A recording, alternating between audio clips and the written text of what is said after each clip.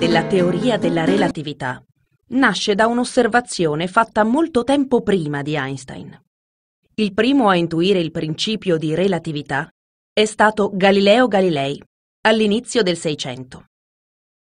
Galileo diceva, se mi trovo dentro la stiva di una nave e guardo un animale che si muove o un oggetto che cade, non sono in grado, soltanto con queste osservazioni, di sapere se la nave è ferma oppure se si muove con velocità costante. In tutti e due i casi, infatti, gli animali e gli oggetti, per me che li osservo, si comportano nello stesso modo. Soltanto se guardo fuori dalla nave e ho un punto di riferimento esterno, come la terraferma, posso sapere se la nave è ferma o si muove. Insomma, il punto di vista di chi sta fermo e quello di chi si muove, purché a velocità costante, sono ugualmente validi. Nessuno dei due osservatori si trova in una posizione privilegiata rispetto all'altro. Questo è, in sostanza, il principio di relatività di Galileo. Se stai fermo, oppure se ti muovi, purché a velocità costante, vedrai avvenire nello stesso modo i fenomeni della natura.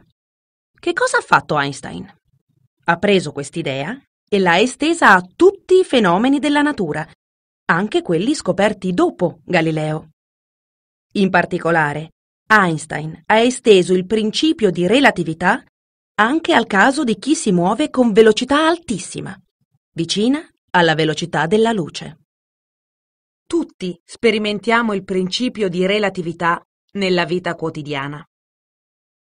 Quando siamo in treno, per esempio, e dal finestrino vediamo scorrere un altro treno sul binario accanto, non riusciamo a dire se è il nostro treno che si muove oppure se è l'altro. Se però abbiamo un punto di riferimento esterno, per esempio un oggetto fermo sullo sfondo, ci appare subito evidente qual è il treno che si muove.